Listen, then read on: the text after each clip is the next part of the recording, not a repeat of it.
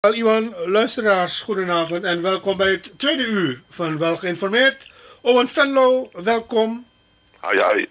Owen, we gaan nu praten met de heer Kenneth Soekoel in Suriname. Meneer Soekoel ehm, heeft een stuk geschreven in De Ware Tijd.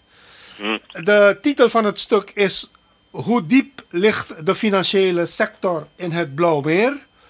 En dat stuk dateert van 23 juni, jongstleden.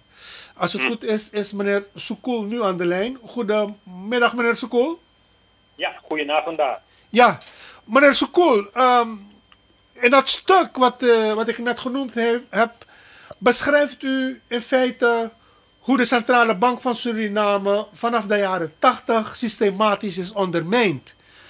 En zodanig dat de bank in feite de functies die het wettelijk zou moeten vervullen, eigenlijk niet goed meer kan vervullen. Dat op zijn beurt heeft weer de weg vrijgemaakt voor, ehm, ja, ik zou zeggen witwaspraktijken en frauderen met, eh, met, met, met, eh, gelden van de staat. Klopt dit beeld?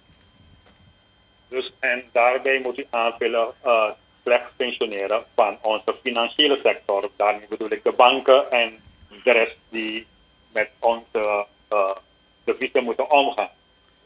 Aha. Dat klopt helemaal. Ja. En het artikel die, die, die praat uh, voor zichzelf. Ja. En wat ons opvalt, meneer eh, Soekoel, is dat eh, de, de, de teneergang, zeg maar, is begonnen vanaf de jaren 80. Vanaf het moment dat er sprake is van een machtsovername, een zogenaamde revo, revolutie. Dat men dus de systematisch de, de, de, de checks en balances van de Centrale Bank van Suriname ehm, weghaalt om eh, voor persoonlijk gewin of, of voor het witwassen van gelden. En, en, en eh, wat ons ook opvalt is dat gedurende de periode dat een nieuw front aan de macht was, dat zulks in feite eh, werd tegengegaan. Klopt dit beeld? Nee, nee, in tegendeel heeft Ja. uh, de regering na 2000 dat beleid gelegaliseerd. Want toen werd uh, de economie zogenaamd geliberaliseerd. Wat Oké. zoveel als uh, inhoudt dat importeurs en exporteurs op de multination- multinationals na en staatsolie geen vergunning meer hoefden te vragen bij het ministerie van Economische, Economische Zaken om goederen te exporteren of te importeren. En daardoor had je ook het, eh, dus dat de inkomsten uit die exporten die werd gepleegd door die exporteurs niet meer naar de centrale bank ging, maar naar de cambio's en de particuliere banken, waardoor eh, de centrale bank helemaal geen zicht meer had in de geldstroom. Kijk, uh, Krishna, voor een kleine economie als Suriname, waarbij wij, althans onze economie afhangt van één of twee producten, is het van belang dat de centrale bank goed zicht heeft in de geldstroom. Hoeveel naar binnen komt en hoeveel naar buiten gaat. Zodat de juiste prioriteiten ja, gesteld kunnen worden. Ik geef je een voorbeeld. Als er net genoeg dollars uh, in, de, in kas is zit, ja, Ja. en je moet medicijnen importeren, en iemand anders wil uh, bijvoorbeeld Black Label of Blue Label importeren, dan kan de minister van Economische Zaken zeggen, centrale bank luister, maak de visumvrij eerst voor de importeur van medicijnen. En als er wat overblijft, zien we wat we verder doen. Ja. Onder de huidige omstandigheden, in ieder geval na 2000 en daarvoor ook, ja, kon dat niet meer. I- iedereen is vrij en degene die de meeste macht heeft of kracht heeft om aan de dollars te komen bij de cambio's en bij de banken, die komt aan de dollars en importeert. En voor de rest vraagt niemand ook van waar die dollars zijn gekomen en wie ze allemaal binnen heeft gebracht. Terwijl daarvoor, toen alle exporten via eh, de centrale bank ging, ja, Ja. je exact wist hoeveel de rijstsector binnen had gebracht, hoeveel de hout, hoeveel de vissector, zodat je precies Ja. weet hoeveel dollars je hebt verdiend. En Ja. als er nog dollars buiten circuleren, dan weet je van nee, dat is geen dollars die de staat Suriname heeft verdiend. Mhm. Maar, maar, maar hoe staat het met de, de politieke controle? Wat doet het parlement hier tegen? Want wij begrijpen uit dit stuk dat er geen jaarverslagen worden gemaakt. Dus eh, in, in elk geval is het zo dat na 2013 het begon. Eh, dus Ja. daarvoor, tijdens de periode twee- eh, 82 tot en met eh, ergens, zeg maar, pakweg 99, dat Mhm. toen de, eh, de burgers weer de regeringsmacht kregen in handen, Ja. was het al een beetje lastig. Maar oké, Ja. vanaf 2000 moeten we zeggen dus dat er wel jaarverslagen werden gemaakt. Maar na 2015 eh, ging het weer mis. En de ja. governor, eh ex-governor meneer Gersi, Ja. die verklaarde hier op een lokale radio dat Ja. de minister van Financiën, toen meneer Hoefdraad, dat had Ja. verboden. Terwijl meneer eh, Gersi als governor van de centrale bank autonoom is. Ja. En toch laat hij opdrachten geven door de minister van Financiën. Waarmee weer wordt aangetoond dat Mhm. ja, onze financiële sector, als het gaat om onze monetaire eh, autoriteiten, in Ja. feite niets te brokkelen hebben in het, in het melk. Nee. Ja, ja. Want, want u haalt voorbeelden aan waarbij dus de hele financiële sector in feite.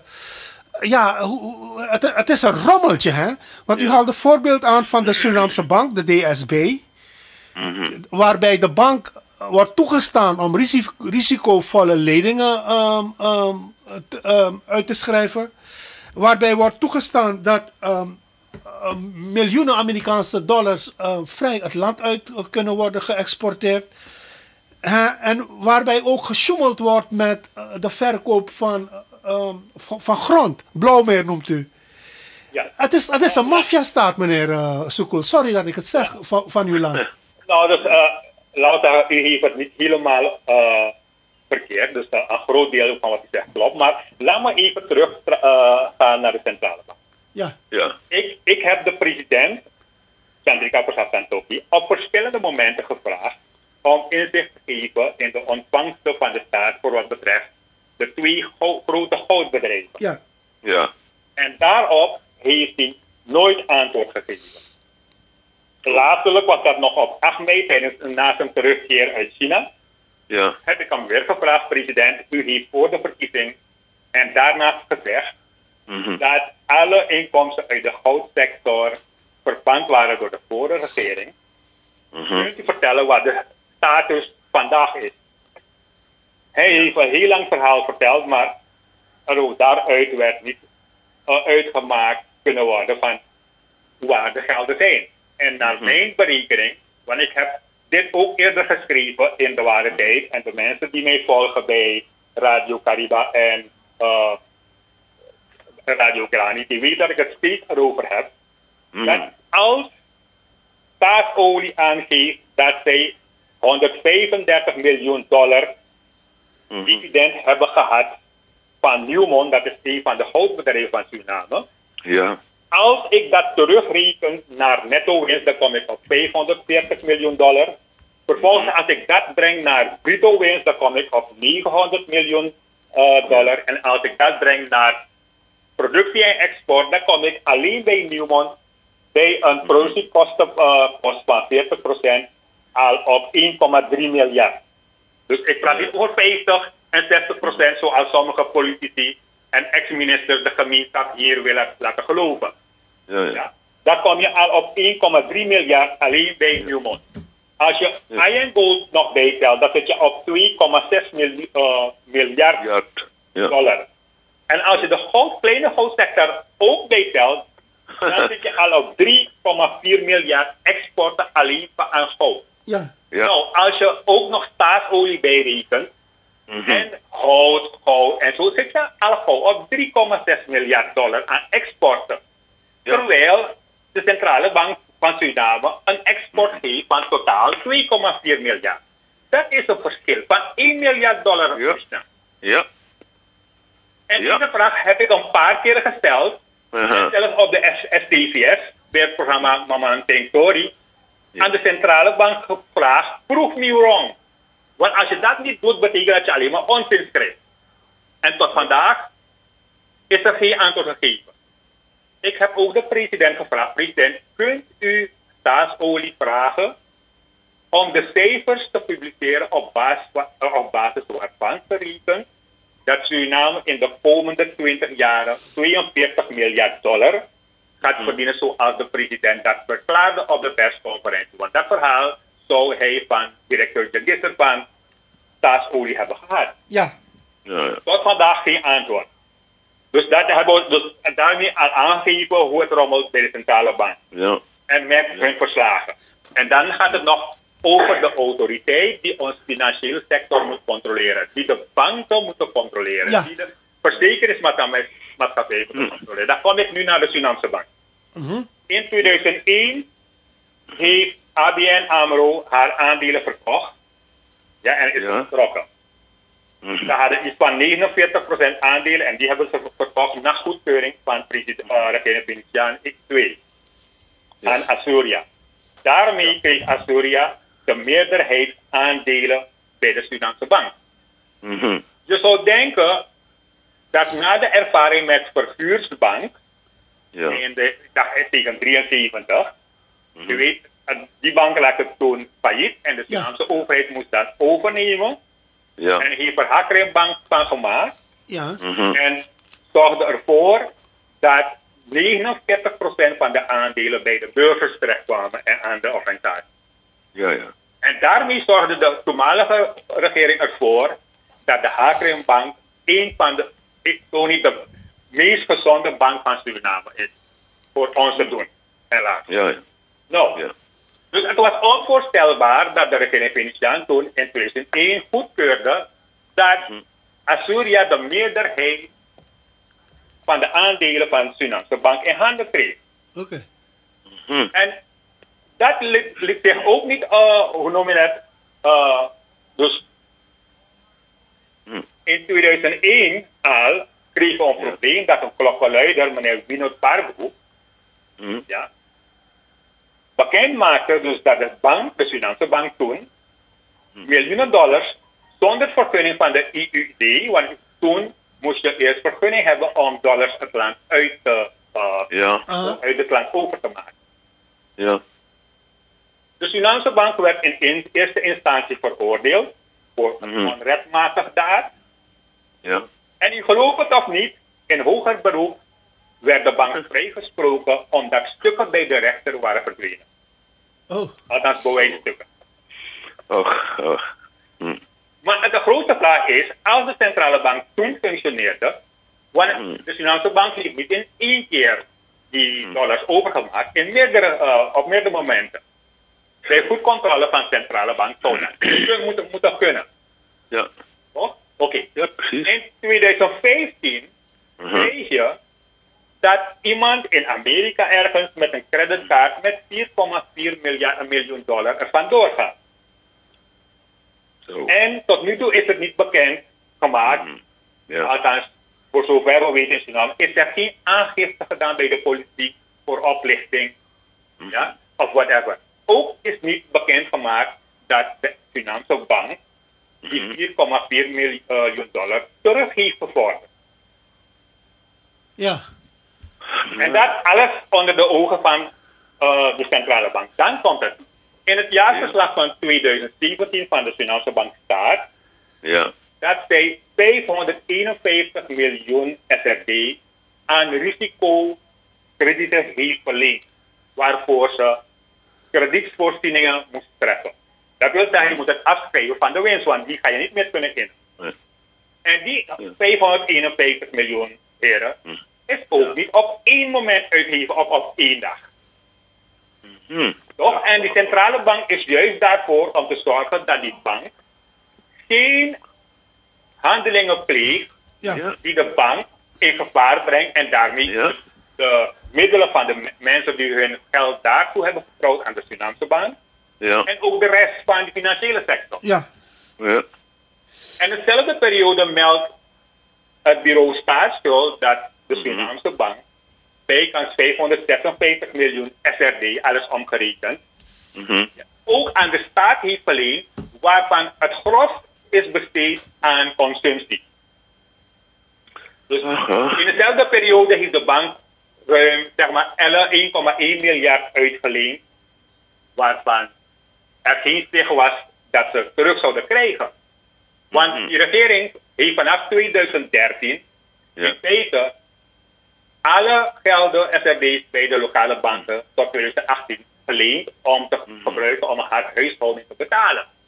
Ja, ja. Dus die banken zaten ook verkeerd, maar Mhm.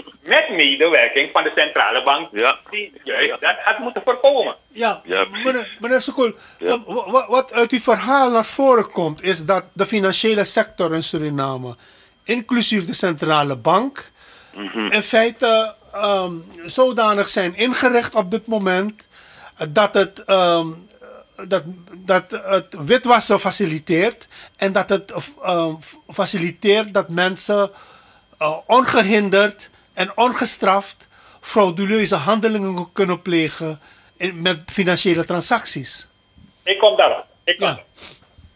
En in die 551 miljoen zit ook een bedrag die geleend is aan een bedrijf van ASPO. Dat was voor 2016 ergens. Mhm. En dat bedrijf, je weet, als u hier naar de bank stapt, moet u bedrijfsplannen. Ja, er wordt een gedegen onderzoek gedaan. En soms wil men zelf weten wel, welke kleur je onderbroek heeft en hoeveel je hebt. Om zeker te zijn dat je terug kan betalen. Ja. Ja.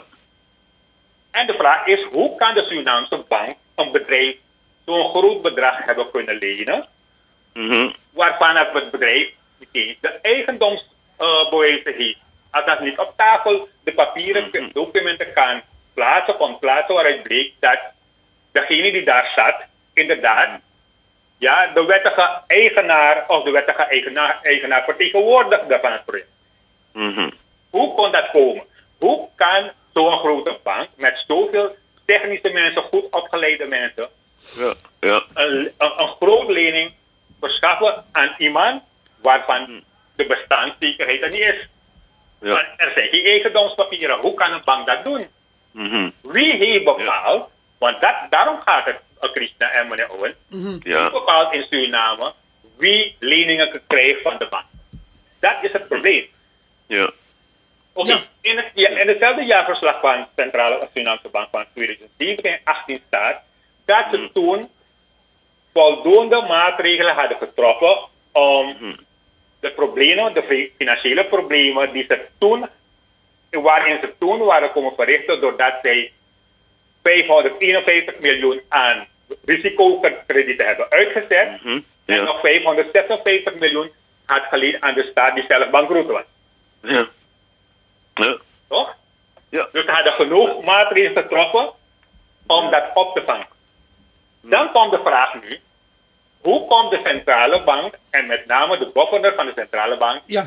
In 2019, want dat is gebeurd in 2016, in 2017 heeft de bank alle maatregelen getroffen om zichzelf staande te houden en hebben ook gemeld in hun jaarverslag van 2018 dat het de goede kant op gaat. Er staat nergens in die jaarverslagen dat ze hulp van buiten nodig hebben of dat de staat hun de hulp moet bieden. Dus plotseling lees je in de krant Ja. dat de Centrale Bank van Suriname een verkavelingsproject heeft gekocht ten behoeve van het personeel Mhm. en tegelijkertijd de centrale bank daarmee gaat redden. Ter bedrage van 20 miljoen dollar. Mhm. Hoe komt de centrale bank aan het idee na twee jaren dat de Surinaamse bank moet redden? Ja. En diezelfde centrale bank heeft een schuld van 556 miljoen bij die bank. Waarom heeft de centrale bank niet gewoon ervoor gekozen om haar schuld in te lopen? Ja. Waarom kiest de centrale bank een verkavelingsproject te kopen waar niet tot haar domein behoort? Ja, de centrale bank hoort wettelijk dat niet te doen. En, en, en waarom doen ze dat En niet dan? überhaupt, Ja. überhaupt Krishna, met geld dat niet aan de centrale bank toehoort, want het is betaald uit de kasreserve. Ja. Dus hoe Ja. komt de, de, de governor van de centrale bank erbij Mhm. dat hij dat geld moet gebruiken om een verkavelingsproject te kopen, stukje eigendomspapieren Ja. en een bank te redden die nooit melding ervan heeft gemaakt dat ze behoefte aan heeft. Ja. En wa- wa- Wat denkt u, meneer Soekoel? Dat, dat dus de centrale bank eh, wordt gebruikt door mensen die gewoon een yang willen maken? Dat is onze hele financiën. Vandaar mijn, mijn artikel. Hoe diep ligt het in, eh, eigenlijk onder het water? Want we hebben geen zicht meer Nee. in de inkomsten van de staat. We hebben geen Ja. inzicht meer hoe de banken functioneren. Wie bepaalt wie lening krijgt en wie niet. De, de centrale bank vervult haar job als controlerende bank. Niet meer. Zo, want kijk, wanneer de, de, het OM in Nederland zegt dat ze nu Hakrim Bank, Ja. Surinaamse bank, willen horen van wie gewit was. hè? Ja, precies. Als de centrale bank in Suriname haar job goed had gedaan en in Mhm. staat was en ook mocht doen, want dat vooral mocht Mhm. doen, Ja, dan zou die bank precies weten ja, Precies. waar die banken hun geld hebben gehad. Want die banken zouden precies. registreren Ja. van waar ze hun geld hebben gehad. Dus precies. was dat probleem van zes jaren al lang Ja. opgelost. Ja, Ja. En, en, Maar de- maar de ook, centra- al, ook al zou ik zeggen dat Ja. Nederland, zoals velen beweren, politiek bedrijven met die 9 9,5 miljoen euro, ja, ja, dan nog als wij in staat zouden zijn voor aan te eh, tonen van luister, 9,5 miljoen is niet zo'n groot bedrag, jongen. ja, precies. Dus Als je een paar kubhout exporteert, heb je dat geld aan. Ja, maar meneer, meneer, meneer het? waarom grijpt de politiek niet Dus- in dan? Ja. Is centrale bank al die tijd gebruikt mhm, Op een goed moment hebben de corresponderende banken hun samenwerking met de Surinaamse bank opgezegd. En in het verlengde hier, Krishna en wanneer we gewoon willen opmerken, ja, dat tegen 2013 ergens Abi en Abro ook hun filiaal in Suriname hebben verkocht aan Canadian Royal Bank. ja, Die heeft nauwelijks anderhalf jaar daarna mhm, dezelfde bank ja, met een verlies van 18 miljoen dollar verkocht om uit het land weg te komen. ja, ja. Maar meneer Soekoel, w- wat moet er gebeuren? Want dit kan zo niet langer, hè? Want stel nou dat er echt geld, geld gaat vloeien uit de oliesector, dan heeft Suriname, de Surinaamse bevolking het nakijken. In, in het artikel heb ik ook Ja. geschreven mhm, dat wij in de media vernemen, maar van officieel van de regering hebben we nog niets gehoord, mhm, dat aan Petronas, die in blok 52 voor de kust van Ja. Suriname gas mag ontwikkelen, ja, met 10 jaar vrij van belasting. Ze hebben daar ongeveer 20, eh, 12 miljard kub- kubieke meter gas ontdekt. Ja, En Ja. ze mogen dat ontwikkelen zonder dat zij belasting hoeven te betalen. In Trinidad, en u weet Trinidad heeft Ja. langer dan 25 jaar ervaring in olie en gas. ja, Daar zegt de minister van Energie en Ener- Energieindustrie ja, dat dezelfde hoeveelheid die zij daar hebben, mhm, slechts 10 jaar gaat duren. Althans, de productie daarvan. mhm, Dus tegen de tijd, analogie daarvan in Suriname met Petronas, tegen de tijd dat wij ons hier gaan opmaken om winstbelasting te innen bij Petronas, is het gas op. ja, En de vraag is, welke instituut ja, heeft gecontroleerd, ja, Ja. heeft uitgerekend als Suriname wel baat heeft bij zo'n deal. ja, En daarom hamer ik ook in het artikel Mhm. dat er een, niet alleen voor de eh, olie, maar ook voor alle grondstoffen en natuurlijke hulpbronnen die Ja. we hebben, Ja. vooral met een zwakke centrale bank, ja, toch? Dat er instituten zijn zoals we dat toen hadden met de het Ja. Instituut, die tot de laatste speaker ja, ging eh, registreren. En dat dateerde van de jaren 80. Hè. Het is niet iets wat we na 2000 hebben gehad. ja. ja, ja, Dus dat kan wel. En die registreert tot de laatste speaker wat Suralco importeerde. Waardoor wij niet voor de situatie uh, ho- hoefden te komen zoals Guyana nu. Want u weet, Guyana Mm. heeft gedreigd Exxon naar de rechter te brengen. Omdat Exxon haar kosten met 1,2 miljard had omhoog gekregen. mhm, Ja? Ja, ja. Dus eh, zij hadden meer opgegeven dan de werkelijke kosten van ruim 1,2 miljard. En ik vraag me af, waarom willen onze beleidmakers daarvan niet leren? ja, Onze, onze centrale bank. Die is totaal afhankelijk van Newmont en Nucien. Zij exporteren dat goud ja, ja, en als het verkocht is, dan delen ze eh, de centrale bank hier mee Mhm. hoeveel kilo's ze hebben geëxporteerd tegen welke prijs. En dat maakt het verschil van 1 miljard dollar, meneer Owen. ja, Alleen bij hout. Ik praat niet over hout. Bij hout bijvoorbeeld, daar praat de, de president over een export van 490 kubieke meter hout Ja. vorig jaar. Mhm. Als ik dat deel door de aantal arbeiders die in de sector zitten van minimaal 6000, betekent dat Mhm. dat per maand één arbeider daar twee bomen heeft geveld. Mhm. Ja. Twee Maar- bomen ja. voor een, een hele maand. Ja. Dat is onkant. Ja. Ja. De Ja. jongens uit de sector, ja, Mhm. die Ja. geven aan dat er meer dan een miljoen kubieke meter hout per jaar wordt geoogst. Ja. In 2018 was het nog 830 of 840.000 kubieke meter. Mhm. Plotseling is het gedaald naar 490, terwijl alle toegankelijke of begaanbare concessies, althans gebieden waarop hout staat die geoogst kunnen worden, reeds zijn uitgegeven. Er is nergens één stukje vrij. Ja. En er zijn meer mensen in de sector, meer bedrijven, en we exporteren de helft minder. Mhm. Tegen een prijs Ja. Dus als je die 75 miljoen dollar die de president aangeeft als inkomsten, als je dat deelt door 490.000, dan kom je op een prijs van 175 dollar per kubieke meter, meneer Owen. Terwijl Ja. de opkoopprijs af concessie gemiddeld 190, 195 dollar is. Ja. Maar, Dat maar, hout kan nooit tegen 190, 195 dollar gekocht worden en geëxporteerd worden tegen 175. Dan moeten er nog vrachtkosten erbij komen, nog winst voor de, voor de eh, exporteur, noem maar op. ja. Ja, precies. Owen?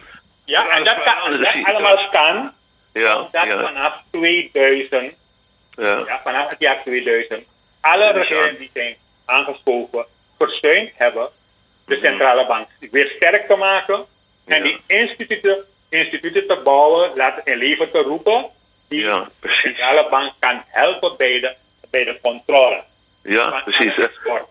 Precies. Want wat ik, wat ik bijvoorbeeld opmerkelijk vond eh, in die 19,5 miljoen kwestie, eh, dat is dat justitie in Nederland gezegd heeft: wij hebben herhaaldelijk aan de Centrale Bank van Suriname gevraagd om de herkomst eh, en alles eromheen van die 9,5 miljoen, om dat duidelijk aan te geven. En de Centrale Bank heeft dat niet gedaan.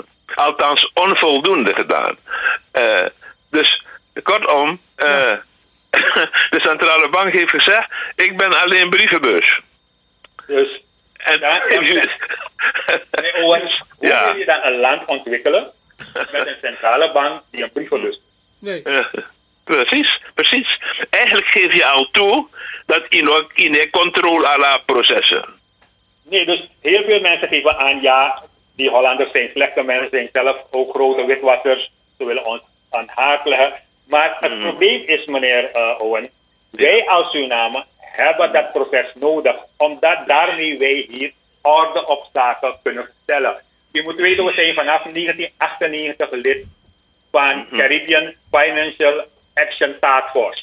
Goed. Ja. Ja, dat is een organisatie die ruim Uh-huh. 40 maatregelen heeft voorgesteld om witwassen ja, en Ja. Terrorismefinanciering tegen te gaan. We zijn nu 26 jaar verder en Suriname Ja. heeft nog niet eens 20 Mhm. van de 40 maatregelen, maatregelen Oké. eh, genomen.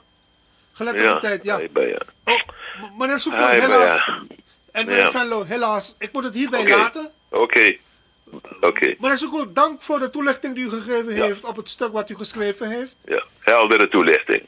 En we hopen natuurlijk dat er eindelijk maatregelen komt zoals u bepleit. Oké. Dus ik hoop dat uw luisteraars het ook blijven volgen in de ware tijd en Oké. United News waar ik schrijf als onafhankelijke ja. journalist. Ja, En ook bij Radio Caribe en Radio, eh ben de naam al gaan besteden. Maar in ieder geval, maandag en donderdag om twee uur uh, Surinaamse tijd ben ik daar te beluisteren. Waar ik dit soort informatie Ja. altijd weer geef, Oké. gefondeerd met bewijzen en cijfers. Het zijn Ja. geen dingen die ik vertel uit, uit, uit de lucht gegrepen. Maar Mhm. ik probeer zoveel mogelijk met cijfers en bewijzen aan te tonen. Dat Mhm. vanaf 1982 ja, Ja. het met onze economie gedaan is. En dat het Mhm. niet zo is dat er een probleem is met onze huishouding, seks, Ja. de uitgaven van de regering, maar meer met de ontvangsten van de staat die de bevolking, die de samenleving van Suriname worden onthouden. Ja. Ja, Door opeenvolgende regering. ja. Ja. ja. En die misschien moeten we nog een keer met u over praten. Die vraag heb ik ook aan de vertegenwoordiger van het IMF hier gesteld toen ze hier op Ja. bezoek was. Waarom moet Suriname een, be- een- een bezuinigingsprogramma uitvoeren Mhm. terwijl het probleem anders ligt? Ja. Ja. En toen zei ze, ja, Suriname is lid van het IMF, heeft hulp gevraagd. Ja. Dus dan geven we dat hulp, eh, die hulp en dan moeten we minder sigaretten gebruiken, minder Coca-Cola drinken, minder biertjes drinken. Ja, ja. Om Ja, ja. de, Ja, de tering naar de nering te zetten. ja, ja. Goed. Ja, ja. Maar misschien moeten we nog een keer met Ja. u verder gaan praten hierover. Oké. Is goed, meneer, Oké. meneer bedankt. Oké, bedankt hoor, meneer School. Ja, en nog een genoeglijke voorzetting van de zondag. Ja, dat was de Oké, heer Kenneth Soekoel. En meneer Soekoel heeft het geschreven in De Ware Ja. Tijd. Het is op de website van. De Ware Tijd van 23 juni. Ja, oké. Eh, eh, oh, maar weet, je, weet je wat het... eh, eh, eh, weet je, de, de politici ja. die willen dat niet veranderen, hè? Nee, klopt. Want- Dat klopt. Want het, Eh, zonder, zonder een functionerende centrale bank ja, is er geen ontwikkeling Eh, mogelijk. eh, eh, Ja, eh, de eh, sluizen zijn open voor witwassen en fraude. Ja, precies. Ja. En, en, en we gaan richting de, de miljoenen, miljarden van de olie en gas. Dus je begrijpt wat er dan gaat gebeuren als de centrale bank zijn Ja. zaken niet op orde heeft. Ja, precies. Ja, En- precies. En, en er, eh, de- de- wat, ook, wat ook opvalt is dat het parlement in feite de controlerende functie die het heeft. Maar dat is met alle, bijna alle zaken. Het ja, precies. het vers- Precies. ze verzaken is- hun, eh, Nee. hun taken eigenlijk. Hè? Ja, ja, ja. Nee hoor, dat is echt een... eh, dat is, alle checks en balances zijn weg. Ja, Alle controles weg, toezichtorganen weg. eh, Verantwoording van, van financiële stromen is er ook niet meer. nee. Dus En draai dat maar eens terug. ja, Probeer dat dat, eens moeilijk. terug te draaien zodat het Ja. wel functioneert. Waar, Ja. Op de manier waarvoor het bedoeld is. Ja, het wordt Probeer moeilijk. dat eens maar terug te draaien, Owen. o- omdat het dus al, al 10, 20, 30 jaar zo fout gaat. Dus het is helemaal geïnstitutionaliseerd, dat fout gaan. Dus Ja. ja, dat wordt een, klus om dat weer goed te krijgen. Ja, Ja, ja, ja, moeilijk hoor. Zorgelijk, zorgelijk. maar goed. Maar goed. Goed.